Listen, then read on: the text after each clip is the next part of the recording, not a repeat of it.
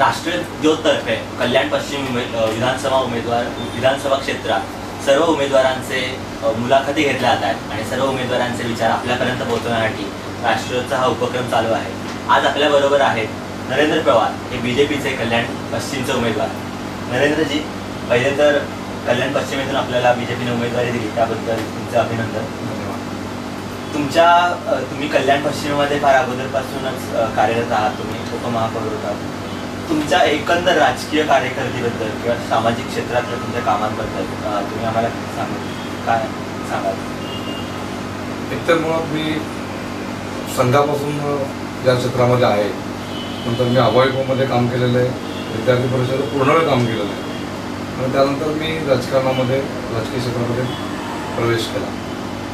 आणि मी सुरुवाती ward ward अध्यक्षापासून काम केलं. आहे वॉर्ड अध्यक्ष कल्याण शहर सचिव नंतर कल्याण शहराचा अध्यक्ष जिल्हा सरचिटणीस जिल्हा अध्यक्षपर्यंत आणि आता मला आता नगरसेवक उपमहापौर आणि आता विधानसभेचं तिकीट मला मिळालं. तर प्रामुख्याने मी जी आता या सगळ्या प्रवासामध्ये जी काही कामं केलेली आहेत किंवा जो लोकसंपर्क आहे मी इवन लोकसभेला पण इच्छुक होतो. लोकसभेला खासदारकीच्या हिशोबाने मी तयारी पण केली होती. मुरबाड शहापूर ढोंडी ग्रामीण या सगळ्या भागामध्ये माझा खूप जनसंपर्क होता. आता मी माझा संपर्क सांगणं हे बरोबर नाही आहे पण माझे इतरही खूप कार्यकर्ते किंवा इतर नागरिक हे पण सांगू शकतात. तर त्या दृष्टीवर मी लोकसभेचं तिकीट मागित होतं. पण त्यावेळेला दुर्दैवाने मला खरं सांगावं वाटतंय की मी आगरी किंवा कुणबी समाजाचा नाही म्हणून मला तिकीट करायला नाकारलं त्या पक्षाने. आणि इतर पक्षातनं दुसऱ्या पक्षातनं आलेले. पण कर्तृत्वान व्यक्ती कपिल पाटील यांना तिकीट दिलं आणि नरेंद्र मोदींच्या आशीर्वादामुळे ते इथे खासदार झाले. विशेष करून खरं कार्यकर्ता म्हणून मला जे तिकीट पक्षाने दिलेलं आहे त्याबद्दल मला तर आनंद आहेच पण आमच्या कार्यकर्त्यांना सुद्धा खूप विशेष आनंद आहे. किंवा नरेंद्र पवार आपले कार्यकर्ते आहेत. तर माझ्या जिल्ह्यामध्ये मी जिल्हाध्यक्ष आहे. या जिल्ह्यामध्ये मा- जवळजवळ सात विधानसभा येतात सात विधानसभेमध्ये चार विधानसभेचं तिकीट ही इतर पक्षातनं जे आलेले आहेत. आहे त्यांचं कर्तृत्व आहे त्यांचं चांगलं काम आहे. ते काम बघून त्यांना जिंकण्याची त्यांची शंभर टक्के खात्री वाशी बाळगून त्या तिकीट दिलं. आणि कार्यकर्ते म्हणून आम्हाला तीन कार्यकर्ते आम्ही आहेत शहापूरचे अशोक केरनक त्यानंतर मी आणि डोंबरीचे रवींद्र चव्हाण. आम्ही तिघं कार्यकर्ते बाकी चार तिकीटं बाहेरच्या पक्षात आलेले दिले. त्यामुळे कार्यकर्त्यांना उत्साह आहे की बुवा आपला कार्यकर्ता आणि आपल्याकरता धावणारा आपला नरेंद्र पवार. हा आमदार झाला निश्चितपणे आपल्या आपली कामं होतील आणि कल्याणचा विकास होण्याच्या दृष्टिकोनातून उपयोग. होईल आणि तुमच्या सामाजिक क्षेत्रातल्या कामांबद्दल? सामाजिक क्षेत्रातली माझी जी कामं आहेत ती मी पर्यावरणाच्या विषयामध्ये विशेष करून लक्ष दिलेलं आहे. मी उपमहापौर असतानाच मी खरं तर उपमहापौर काय शोभेचं खरं पद होतं. कुठल्या अधिकार नाही कुठला निधी सुद्धा नव्हता मला. मा- महापौरांना जे अधिकार असतात महापौरांना जो निधी असतो तो सगळा कुठल्या कुठला अधिकार मला त्या विषयाला नव्हता. म्हणून मग मी काय केलं तर मी पर्यावरणाचा उपक्रम मी हाती घेतला. तर मी ठरवलं एक लाख झाडं मी या महापालिका क्षेत्रामध्ये लावणार. आणि त्याचा मी प्रयत्न केला पण मी साठ हजार झाडांपर्यंत पोहोचलो. अशी झाडं सुद्धा मी विद्यार्थ्यांच्या मार्फत मी झाडं लावण्याचा प्रयत्न केला. आणि शेवटाला फॉलोअप ऍक्टिव्हिटी पण दिली. त्याच्या झाडाचा वाढदिवस त्या मुलांनी साजरा करायचा. वृक्षा पर्यावरण दिनाच्या दिवशी त्यांनी त्याचा कार्यक्रम करायचा. असं त्याला फॉलोअप दिला. नंतर पर्यावरणाची मार्ग जे असतात की आम्ही म्हटलं की आम्ही ते झाड बघायला येऊ. आणि आम्ही तुमच्या शिक्षकांना सांगू की तुमच्या मुलांनी झाड दाखवलं तर तुम्ही झाडाची काळजी घेतली असेल तर तुम्हाला मी पर्यावरणाची मार्क जे शाळेतला असतात ती तुम्हाला मार्क मिळतील. पण लोक विद्यार्थ्यांमध्ये त्यामध्ये जरा जास्त जागरूकता आली आणि खूप शाळेमध्ये खूप विद्यार्थ्यांच्या घरापाशी. मी आजही प्रचार लावतो जिथे जिथे. तर मुलांना मी ओळखत म्हणून मुलं मला ओळखतात. सर तुम्ही आम्हाला दिलं झाड बघा. हे तुम्ही छोटं झाड दिलेलं आज इतकं मोठं झालेलं आहे. म्हणजे इतका आनंद होतो या गोष्टीचा मला की म्हणजे त्याची कल्पना पण करू शकत नाही. त्या व्यतिरिक्त मी सामाजिक म्हणून उपमहापौर असताना सर्व जे उपक्रम राबवले. घरगुती गणेश दर्शन स्पर्धा असेल रांगोळीची स्पर्धा असेल काही काही गृहिणी घरातून रांगोळी काढते. पण तिची दखल आजूबाजूचे घेतात. पण महापालिकेचा अधिकारी महापालिकेचा पदाधिकारी किंवा भारतीय जनता पार्टीचा जिल्हा अध्यक्ष. आज आमची रांगोळी बघायला आमच्या घरी गणपतीचं दर्शन घ्यायला येतो. याचं खूप मोठं अप्रूप त्या घरच्या लोकांना असतं. अशा प्रकारे मी लोकांमध्ये संपर्क या सामाजिक उपक्रमांच्या मार्फत देखील ठेवण्याचा प्रयत्न केला. गणपती. म्हणजे मला लोक मला मजेत म्हणाले मी आता गणपती दर्शनाला रात्री साडेतीन वाजता चार चार वाजता गेलो. म्हणजे आम्ही फक्त आनंद दिघेंना बघितलेलं आहे. इतका उशीर येणार आहे. आणि आज तुमच्याकडे बघतो आम्हाला खूप आनंद वाटतो. किंवा आमच्या गणपतीला आम्ही तुम्हाला निमंत्रण दिलं. आणि तुम्ही आमच्याकडे आलात. म्हणजे या गोष्टींचा खूप उपयोग या निवडणुकीमध्ये मला देखील आम्ही ते लोक येऊन येऊन सांगतायत की साहेब आम्ही तुम्हाला मतदान करा. आम्हाला काही नको तुमच्याकडे. फक्त आम्हाला कल्याणचा विकास हा तुमच्याकडनं घडवणं आम्हाला अपेक्षित आहे. मग या सामाजिक उपक्रमांचा या सगळ्या निवडणुकीमध्ये मला निश्चितपणे खूप फायदा होईल असं मला दिसतं पर्यावरण विषयक उपक्रम फारच नवीन उपक्रमाबद्दल तुमचे आभार आपण कल्याणच्या लोकल प्रश्नांकडे वळूया. कल्याणमध्ये हा अग्रा रोड आहे. आणि सौदान चौक किंवा शिवाजी चौक स्टेशन परिसर इथे ट्रॅफिकचा खूप मोठा प्रॉब्लेम आहे कल्याणच्या जनतेला भेडसावचा त्या ट्रॅफिक बरोबरच कल्याणमध्ये पार्किंग हा खूप मोठा मुद्दा बसला म्हणजे पार्किंगला सोय नाही किंवा असेल तर एखादा जर ऑफिसला जाणारा माणूस असेल तो पटकन दुमजली पार्किंगमध्ये जाऊन गाडी लावेल आणि मग ऑफिसला जाईल. ही तर म्हणजे खूप कठीण गोष्ट असते. त्या पार्किंगचा एक प्रश्न आहे. या प्रश्नांना तुम्ही कसं तोंड द्याल? आणि प्रश्नांवर तुम्ही काय काम कराल? आमदार झाल्यानंतर. पहिल्यांदा मी ट्रॅफिकचा विषय सांगतो नंतर मी पार्किंगच्या विषयात बोलतो या दोन्ही विषयावरती मी ठोस भूमिका माझी माझ्या जाहीरनाम्यामध्ये मी मांडलेली ज्याने ज्याने विचार करताना मी त्यामध्ये ते विषय तो मी मांडलेला आहे त्याच्यामध्ये तर प्रामुख्याने गोविंदवाडीचा बायपासचा जो रोड आहे तो रोड देखील मी जेलमध्ये पाच दिवस गेलो. म्हणजे आम्ही शिवाजी चौकामध्ये भारतीय जनता पार्टीतर्फे प्रसार आंदोलन केलं. आणि गोविंदवाडीचा बायपास रोड लवकर झाला पाहिजे अशी मागणी केली.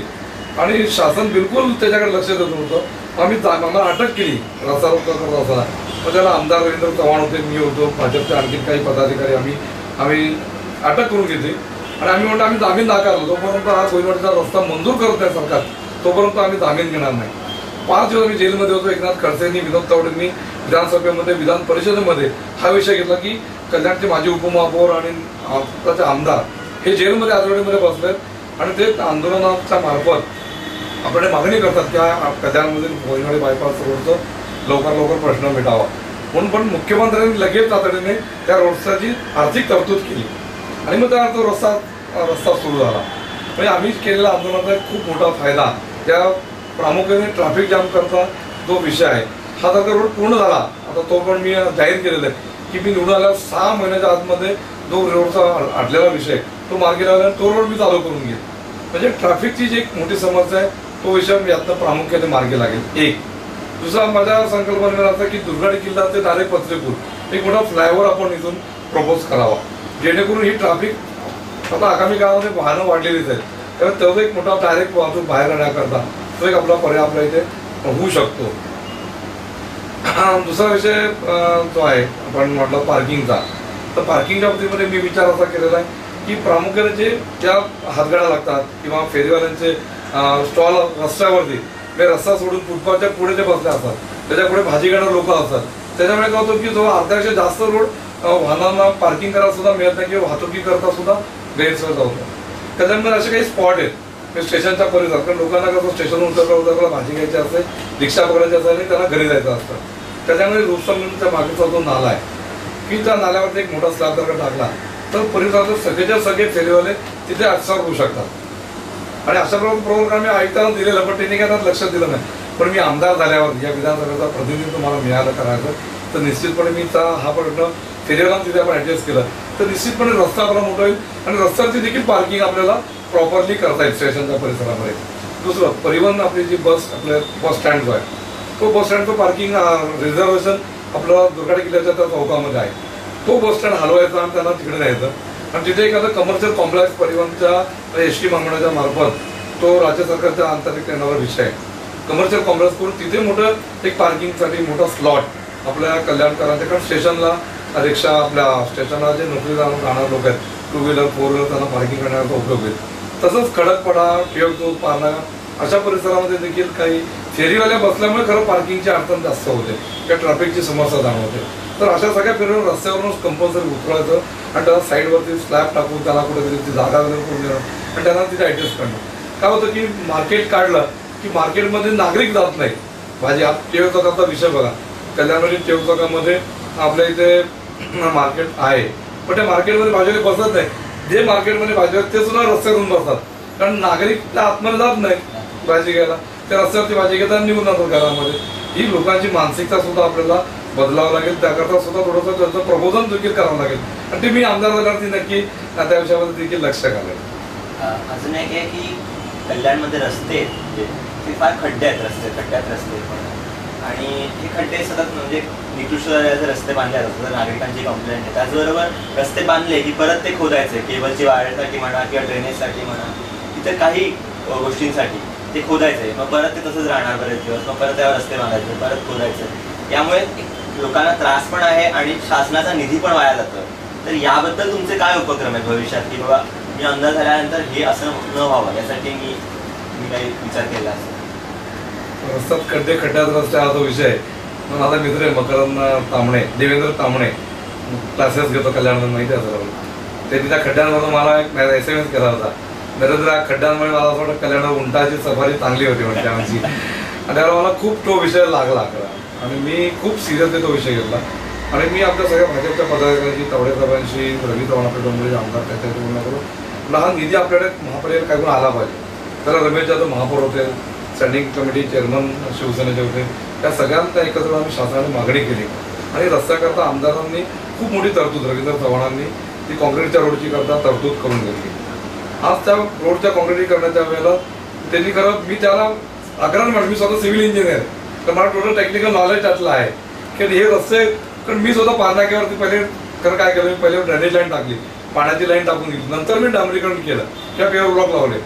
म्हणजे हे साधं कॉमन सेन्स आहे ना. अधिकाराची याच्यामधली खरं मुजुरी आहे आणि त्यांची मस्ती या विषयातली. की ते काय करतात की त्यांचं दुकान चालावं. म्हणजे त्याचे टेंडर निघावे त्याचं रिपेरिंगचं काम निघावं. आपल्यामध्ये काय होतं समज की नगरसेवकांना कमिशन मिळतं. पण तसा विषय नाही. पण प्रशासन जे आहे प्रशासनामध्ये भ्रष्टाचार खूप मोठा विषय आहे. त्याच्यामुळे या गोष्टी होतात म्हणून मी आमदाराला मी माझा अंकुश इतका जबरदस्त मी यांच्यावरती ठेवेल की कुठल्या प्रकारे चुकीच्या पद्धतीने काम होणार नाही. म्हणजे जे चुकीच्या पद्धतीने काम करतात म्हणजे काय करतात? तर रस्ता करतात नंतर मग टेलिफोनची लाईन नंतर मग पाण्याची लाईन नंतर मग ड्रेनेजची लाईन. आता जे कॉन्क्रीटचे रोड आपण प्रपोज केले जी कामं चालू आहेत जर ती कामं पूर्ण झाली की आपल्याला निश्चितपणे ती रोड खडा लागणार नाही. अशा प्रकारची तरतूद मी त्या सगळ्या टेंडरमध्ये करून घेतली अधिकाऱ्यांकडे. त्यावर राजेंद्र देवळेकर आणि मी आम्ही दोघांनी खूप आग्रह झाला या सगळ्या विचार करता. आणि त्याला एक वेगळा स्लॉट बाजूनी म्हणजे समजा पाईपलाईन टाकायची किंवा रेल्वे लाईन करता काही रेल्वे लाईनची तरतूद केलेली आहे त्या संदर्भातली. पण तुम्हाला केबल लाईन टाकायची किंवा आणखीन पाण्याची लाईन टाकायची त्याच्याकरता बाजूला स्लॉट आम्ही करून घेतलेला आहे की जेणेकरून आगामी काळामध्ये तो कॉन्क्रीटचा रोड खडायला लागणार नाही. सर कल्याणच्या परिसरामध्ये म्हणजे कचऱ्याचा एक विषय खूप मोठा आहे. म्हणजे स्टेशन परिसरातल्या भाजी मार्केटचा जो तिकडचा कचरा म्हणा किंवा कल्याणचं डम्पिंग ग्राउंड म्हणजे डम्पिंग ग्राउंडवर तर माझ्या अंदाजे दोन तीन इलेक्शन तरी डम्पिंग ग्राउंड या मुद्द्यावर लढवली गेलेली आहे. तर हा डम्पिंग ग्राउंडचा मुद्दा कधी सॉल्व्ह होईल? किंवा तुम्ही अंदाज झाल्यावर हा मुद्दा कधी सॉल्व कसा सॉल्व्ह करा? त्याच्याबद्दल तुमच्याकडे काय आयडिया आहेत केंद्रीय दळणवळण मंत्री नितीन गडकरी ते परवा डोंबिवलीला सभेला आले होते. तर ते कल्याण हेलिकॉप्टरने उतरले. मग आम्हाला भिवंडीला आणि कल्याण डोंबरीला जाण्याचा योग माझा त्यांच्या गाडीनं जाताना आला तर मी संधीचा फायदा घेतला. मी नितीनजी गडकरी दाखवून साहेब बघा हा डे डम्पिंग ग्राउंड आहे. ना पूर्ण कल्याण शहराला त्रास होतो. तर तुम्ही मला यामध्ये काहीतरी मदत करा. नरेंद्र एवढ्या आपल्याकडे कंपन्या आहेत. मुद्द्याला लागणारा केंद्र सरकार निधी. जो निधी लागेल तो तुला मी मोदी साहेबांकडनं आणि मी स्वतः व्यक्तीच्या लक्षात तुला मी करून देईन. तुला मी स्वतः याचा चांगला चांगलं प्रपोजल या संदर्भात देईल माझ्याकडे खूप कंपन्या आहेत खूप वेगळ्या प्रकारच्या या विषयातला काम करणारे लोक आहेत.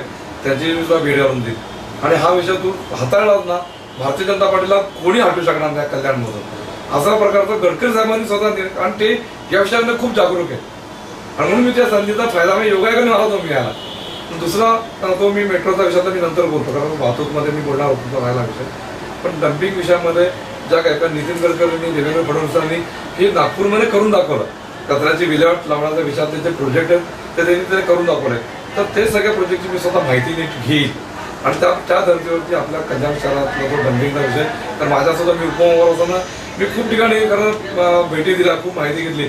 पण प्रशासनाने खूप त्यामध्ये दिरंग्या दाखवली. प्रशासनाचा खूप त्या विषयातला म्हणजे गिला कारभार या विषयातला आहे. पण मी थोडा आमदार झाल्यावरती. आणि खरं मी मग म्हटलं की म्हणजे मी उपमहार असताना कुठलाच अधिकार नाही.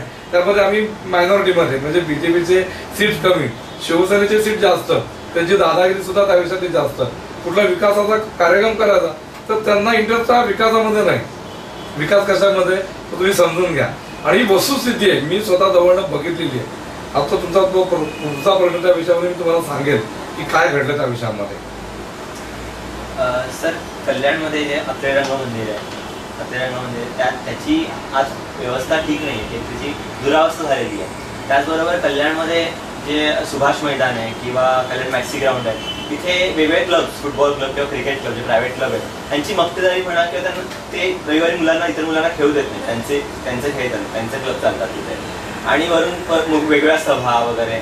त्यामुळे मुलांना एक शाळकरी मुलांना किंवा कॉलेजच्या मुलांना आज खेळण्यासाठी ग्राउंड नाही आहे कल्याणमध्ये. आणि दुसरी गोष्ट म्हणजे सांस्कृतिकदृष्ट्या पण कल्याण शहर इतकं म्हणजे जसं राहायला पाहिजे जशी सांस्कृतिक ठेवण आहे कल्याणची एक देणगी कल्याणला. त्याप्रमाणे गेलेलं नाही आहे पुढे. तर तुम्ही आमदार झाल्यानंतर एक सांस्कृतिक आणि क्रीडात्मक दृष्ट्या कल्याणचा विकास कसा करा हे प्रामुख्याने आता माझ्या जाहीरनाम्यामध्ये सुद्धा मी उल्लेख केलेला आहे की जे मी काही विविध उपक्रम राबवणार आहे कल्याणमध्ये मतलब मी क्रीडा संकुल. म्हणजे जे कमर्शियलाइज आता जे क्रीडा संकुल होतं तसं नाही. म्हणजे खरोखर मुलांना त्याचा लाभ घेता यावा त्याचा त्यांचं व्यक्तिमत्व घडावं स्पोर्ट्समध्ये मी नाव कमवणार. अशा दृष्टीकोनात एक मोठं अद्ययावत क्रीडा संकुल करायचं कारण कल्याणमध्ये महापालिकेकडे खूप रिझर्व जागा आहेत. की तिथे हे करणं शक्य आहे. मी उपमापराचा देखील आग्रह धरला. पण पुन्हा मी तेच नमूद करतो की त्याला मला काय तितका प्रतिसाद दिला नाही.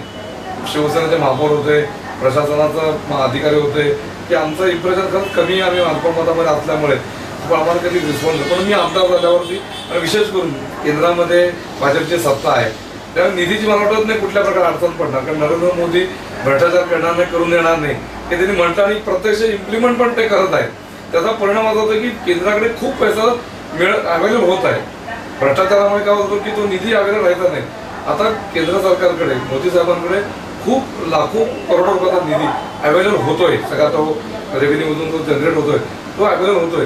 त्या निधीमधून या कल्याणच्या विकासाकरता एक चांगलं भव्य क्रीडा संकुल आणि क्रीडा संकुल निश्चित क्रीडा संकुल बांधून ठेवायचं नाही तर ते मेंटेन करण्याची व्यवस्था ते त्याची विविध उपक्रम राबवण्याची योजना जी आहे ती देखील त्याचा देखील मी स्वतः विचार केलेला आहे. आणि कल्याणमधून दोन वर्षाच्या आतमध्ये हे मोठं क्रीडा संकुल म्हणजे कमर्शियल नाही म्हणजे तुम्ही म्हणा प्रायव्हेट लोकांना दिलं त्यांची मक्तेदार झालेली आहे. आणि दुसरं गोष्ट त्या क्रीडा संकुलमध्ये कुठल्या प्रकारची राजकीय सभा होणार नाही याची देखील मी त्यामध्ये खबरदारी घेणार आहे. धन्यवाद. श्री गोष्ट कल्याणमध्ये तुम्ही म्हटलं आता की क्रीडा संकुलासाठी आपण जागा उपलब्ध करून द्याल वगैरे. तसंच जागा त्या स्वरूपाची जागा केडीएमसीने कत्तल खाण्यासाठी उपलब्ध करून दिली होती आणि ती आरक्षित केली होती. आणि त्याचबरोबर हिंदी मिश सॉरी ख्रिश्चन मिशनरीजला त्यांनी काही जागा स्वस्त दरात दिली होती. यामागे मागे या- विषयावर वाद उसळला होता.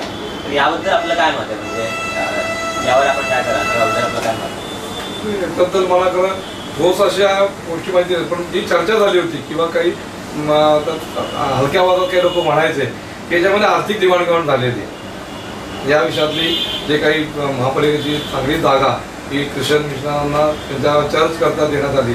तर ती चुकीच्या पद्धतीने ती महापालिकेने ठराव करून दिली. आम्ही करता त्या विषयाची मी माहिती आर टी आयच्या खाली माहिती पण मागवलेली आहे. त्या ठरावाची कॉपी मी मागवलेली आहे.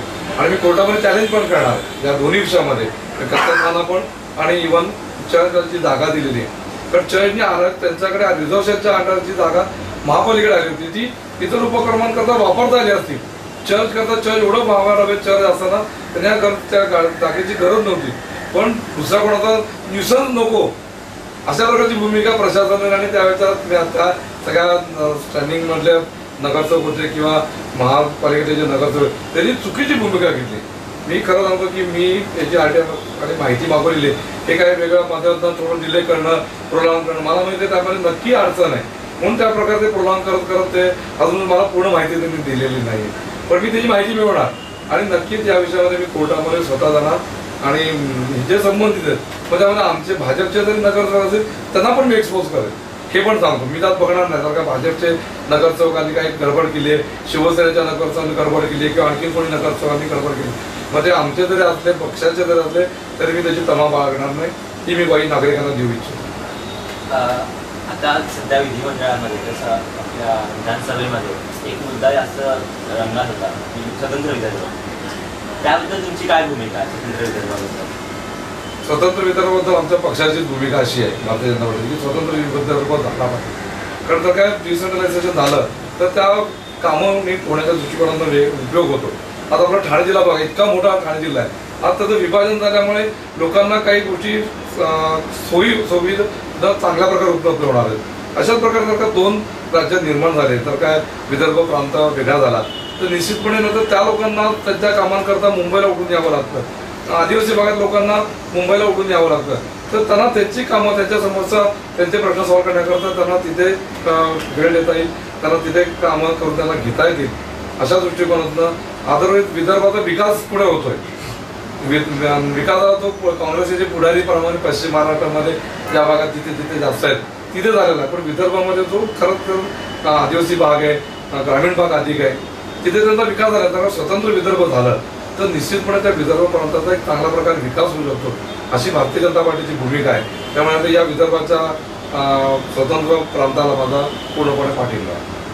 सर विदर्भ असो किंवा मराठवाडा असो पश्चिम महाराष्ट्र असो प्रत्येक ठिकाणच्या शेतकऱ्याची एक अशी भूमिका किंवा की दरवर्षी कुठला तरी दुष्काळ येतो. एकतर तो म्हणजे दुष्काळ असतो कोरडा दुष्काळ असतो किंवा ओला दुष्काळ असतो पाऊस पडल्यामुळे कोकणातल्या शेतकऱ्यांचं नुकसान होतं. दरवर्षी काही ना काही नुकसान होतं आणि मग मग सरकार त्याच्यावर नुकसान भरपाई जाहीर करतात. मग ती कितपत मिळते तो पुढचा विषय. मग यावर या गोष्टींवर या गोष्टी तर दरवर्षी होतात म्हणजे. मग त्यावर नुकसान भरपाई जाहीर करणं हा उपाय नसतो मग त्यावर तुमचं काय मत आहे? हे तुम्ही कसं या गोष्टी कशा तुम्ही पुढे न्याल? एक तर कसं आहे की नैसर्गिक आपत्ती जो विषय आहे. तो काय असा कोणाच्या हातातला विषय नाहीये.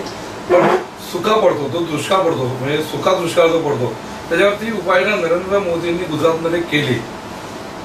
तशाच धर्तीवरती महाराष्ट्रामध्ये देखील ज्या जो ड्राय एरिया आहे तिथला भाग म्हणजे पाण्या पाणी आणणं नाला म- कालव्यांच्या मार्फत आणि ती जमीन ओलिताखाली आणणं आणि तो तिथला सुका दुष्काळ आपण मिटवू शकतो घालवू शकतो. अशा प्रकारच्या काही योजना आपल्या भारतीय जनता पार्टीच्या नेत्यांच्या मनामध्ये आणि नक्कीच त्या इम्प्लिमेंट करतील. काँग्रेसच्या राष्ट्रवादीने कारण हा सगळा सिंचनाचा जो विषय आहे त्यामध्ये खूप लाखो रुपयांचा त्यांनी भ्रष्टाचार केलेला आहे. त्यामुळे प्र- प्रत्यक्ष योजना इम्प्लिमेंट झाली नाही. म्हणजे कल्याण आपल्या मुरबाड शहापूरमध्ये जे त्यांनी केटी बंधारे बांधले इतके निकृष्ट दर्जाचे बांधले जिथे गरज नाही तिथे बांधले. आणि झाले नाहीत त्यामुळे त्याची सुद्धा बिलं त्या लोकांनी काढलेली अशा प्रकारची या गोष्टी या भाजप गव्हर्नमेंटमध्ये होणार नाहीत. त्यामुळे सुकाल दुष्काळ ओला दुष्काळाला तोंड देण्याकरता शेतकरी सा- सामर्थ्यवान असेल. त्यांना कुठल्या प्रकारच्या कर्जा कर्जबाजारी होऊन त्यांना आत्महत्या करावी लागते? अशी वेळ महाराष्ट्रातल्या शेतकऱ्यांवरती येणार नाही. कारण नरेंद्र मोदींचं मार्गदर्शन या सगळ्या विषयामध्ये प्रामुख्याने या सगळ्या नेत्यांनी घेतलेलं आहे. आणि ते इम्प्लिमेंट करण्याकरता त्याचा उपयोग निश्चितपणे होईल. त्यामुळे अशा काही घटना होणार नाही असं मला खात्री वाटते. आता विधानसभेमध्ये अजून एक मुद्दा म्हणजे इलेक्शन येतात. तसा हा मुद्दा नेहमीच ऐकायला मिळतो. म्हणजे मराठा आरक्षण असो किंवा मुस्लिम आरक्षण असो धनगर आरक्षण असो अनेक प्रकारचं आरक्षण. तर या आरक्षणाविषयी तुमची काय भूमिका त्या वेगवेगळ्या प्रकारच्या आरक्षणाविषयी. काय मुळात आरक्षण जेव्हा जाहीर झालेलं आहे तेव्हा तेव्हाचा काळ जो होता तो त्या काळाची गरज होती. आणि डॉक्टर बाबासाहेब आंबेडकरांचं देखील म्हटलं होतं की एका लिमिट लिमिटेड वर्षांकरता हा आरक्षणाचा विषय आहे. पण काय झालं की जातीच्या आधारावरती मतं मिळवणं त्यांच्या काही सोयीसुविधांवरती मतं मिळवणं या गोष्टींकडे लक्ष देऊन त्या आरक्षणाचा जास्त करून उपयोग नेत्यांनी केलेला आहे. आणि कसं झालं की दावंड पण आवलेला आहे त्याचा विकासाच्या दृष्टीने विचार केला पण त्या विकासाच्या दृष्टिकोनातून विकास पण झाला नाही. आरक्षणाच्या आधारावरती नोकऱ्या देणं आरक्षणाच्या आधारावरती त्यांना काही सोयीसुविधा उपलब्ध करून देणं आहे त्याच्याकरता निधी उपलब्ध करून देणं आहे. पण त्या निधीमध्येच इतका प्रकारचा भ्रष्टाचार झालेला आहे. त्यामुळे तो एक समाजातून वरती येण्याची गरज होती. तो समाज वरती असा आला नाही पाहिजे तसा. त्याचा विकास अजून झाला त्याची डेव्हलपमेंट झाली नाही. त्यामुळे त्या आरक्षणाची गरज खरं अजूनही आहे. पण प्रामुख्याने माझा तुम्ही विचार कराल विचाराल तर खरं तर आर्थिक दुर्बलता जी आहे त्यांना आरक्षणाचा खरा फायदा दिला पाहिजे. हा जातीच्या आधारावरती जो फायदा दिला जातो. त्यापेक्षा खरं आर्थिक दुर्बल आहे. आर्थिक निकषावरती जर का आरक्षण दिलं गेलं तर कारण आज प्रत्येक समाजामध्ये आर्थिक दुर्बलता आहे आर्थिक विषमता आहे. तर प्रामुख्याने माझी भूमिका खरं व्यक्तिगत पक्षाची आमची भूमिका वेगळी आहे पण माझा विचार तुम्ही विचाराल. तर आज प्रामुख्याने आर्थिक निकषावरती जर का आरक्षण दिलं गेलं तर तो एक स्तर सगळा प्रकार सगळ्या जातीमध्ये सगळ्या धर्मामध्ये अगदी ते मग हिंदू असून देत मुस्लिम असून देत ख्रिश्चन असून देत पंजाबी असून देत ब्राह्मण समाज असून देत किंवा आणखी इतर कुठला समाज असून देत. प्रत्येक समाजामध्ये आज आर्थिक दुर्बलता आर्थिक अडचणीचा विषय आहे. त्यामुळे जर त्या घटकाला विचार घेऊन आरक्षण दिलं गेलं. तर निश्चितपणे खरंच त्याचा त्याची त्याची गरज आहे. अशी माझी व्यक्तिगत या विषयातली भूमिका आहे. आज महाराष्ट्रात शैक्षणिक दृष्ट्या विचार केला तर प्राथमिक शिक्षण असो किंवा माध्यमिक शिक्षण असो यामध्ये त्याचा एक दर्जा खालवलेला आहे. म्हणजे उदाहरणार्थ आठवीपर्यंत मुलांना पास करायचं किंवा इतर आपल्या अगदी महाविद्यालयांपर्यंत अभियांत्रिकी महाविद्यालय किंवा मेडिकलची अभिवैद्यकीय वैद्यकीय महाविद्यालय यांच्यामध्ये त्यांना अगोदर त्या महाविद्यालयांना ग्रँड देतात. मग त्यांच्यावर सीईटी थ्रू त्यांच्यात ऍडमिशन करून घेतात मुलांच्या. आणि नंतर त्यांची ग्रँड काढली. का असं होतं? मग यात विद्यार्थ्यांचं कुठेतरी महाराष्ट्रातलं नुकसान होत आहे आणि विद्यार्थी हा घटक असा आहे की तो मतदान करत असल्यामुळे अनेक नेते त्याच्याकडे एक, दुर्लक्ष करतात. तुमचं याच्याविषयी मत काय आहे? किंवा तुम्ही ही प्रश्न कसा सॉल्व्ह करा मुळात मी विद्यार्थी संघटनेचं काम केलेलं आहे. अखिल भारतीय विद्यार्थी म्हणजे पूर्णवेळ देखील सात वर्ष होतो. तर या विद्यार्थ्यांच्या समस्यांशी मी खूप जवळ मी आंदोलनं पण केलेली आहेत. मग ती कॉलेजची असतील विद्यापीठाची असतील किंवा राज्य सरकारच्या संदर्भातल्या असतील मी त्याला सगळ्या विषयांमध्ये आंदोलन देखील मी केलेले. त्यामुळे मी विद्यार्थ्यांकडे ते मतदान करतात नाही करतात या विषयाकडे न लक्ष देता विद्यार्थ्यांच्या समस्या ज्या आहेत त्या प्रामुख्याने कडे मी नक्की लक्ष दिलं आणि त्या सॉल्व्ह करण्याचा प्रयत्न पण करेल. तुम्ही जो पहिला प्रश्न मला विचार की आठवीपर्यंत पास करायचं आणि किंवा आणखी पुढे देखील किटी किटीचे विषय आहेत. पण त्यामुळे त्या विद्यार्थ्यांमध्ये गुणवत्ता तयार होत नाही. त्याला पंगू म्हणून जाते. म्हणजे मला वाटतं की सरकार या अशा योजना का आणते कारण तुम्ही आठवीपर्यंत पास जर तुम्ही करणार असाल तर मला अभ्यासात लक्ष देत नाही. आज तुमची मेरिट वरती जर का तुम्हाला यायचं असेल तुमची जर का कॉम्पिटन्स टिकायचं असेल तर तुम्ही स्ट्रॉंग होणं गरजेचं आहे. तर अशा प्रकारच्या योजना विद्यार्थ्यांना पालकांना खुश करण्याकरता म्हणून करण्याचा जो एक प्रयत्न केला केला तो चुकीचा आहे. त्यामुळे विद्यार्थी त्यांचं म्हणणं होतं की विद्यार्थ्यांचं ड्रॉपआउटचं प्रमाण कमी होतं. पण ड्रॉपआउट झालेले एक चालतील पण तुम्ही विद्यार्थ्यांना अशा प्रकारे पंगू करू नका. तर त्यामुळे ती भूमिकेच्या बाबतीत माझा खरं विरोध आहे. एक चांगल्या प्रकारचं मुलांना शिक्षण दिलं पाहिजे. त्याचप्रमाणे स्किल डेव्हलपमेंटचं शिक्षण हे जे आठवी नापास होतात दहावी नापास होतात नित्या नरेंद्र मोदींनी जे गुजरातमध्ये चालू केलं आणि केंद्रामध्ये देखील तिने आता सगळीकडे स्किल डेव्हलपमेंटवरती जास्त भर दिलेला आहे. या स्किल डेव्हलपमेंटचं प्रशिक्षण शिक्षण जर या मुलांना मिळालं प्रामुख्याने. तर निश्चितपणे मुलांना रोजगार विमुख शिक्षण मिळेल. आणि त्यांना खरं तर जॉबची नोकरीची बिझनेसची गरज आहे. अशा दृष्टिकोनात शिक्षण त्या मुलांना मिळालं. तर निश्चितपणे ते घर उभारण्याकरता देखील त्याचा उपयोग होणार. आज ज्या शासनाच्या शाळा आहेत म्हणजे जिल्हा परिषद असो किंवा केडीएमसी असो त्या शाळेतल्या शिक्षकांना वेगवेगळे म्हणजे पल्स पोलिओ असो किंवा जनगणना असो निवडणूक असो अनेक कामं अनेक सर्वेची कामं ती त्यांना दिली जातात. त्यांचं विद्यार्थ्यांना नुकसान होतं. त्याचबरोबर जिल्हा परिषद किंवा केडीएमसीच्या गव्हर्नमेंट शाळा आहेत यांची तसा दर्जा पण तसा खूप कमी आहे खालावलेला महाराष्ट्रात तरी. त्या त्याविषयी तुमचं काय धोरण असेल? शिक्षकांना कामं देण्याविषयी किंवा सगळ्यात त्याविषयी सांगतो की सत्ता काँग्रेस राष्ट्रवादीची बदलणं गरजेचं आहे. कारण त्यांनी इतक्या प्रकारचा मोठा भ्रष्टाचार केलेला आहे. त्यामुळे सरकारकडे पैसा जमा होतो पण सगळ्या योजनांच्या मार्फत जो भ्रष्टाचार करतात तेव्हा तो पैसा खालपर्यंत पोहोचत नाही.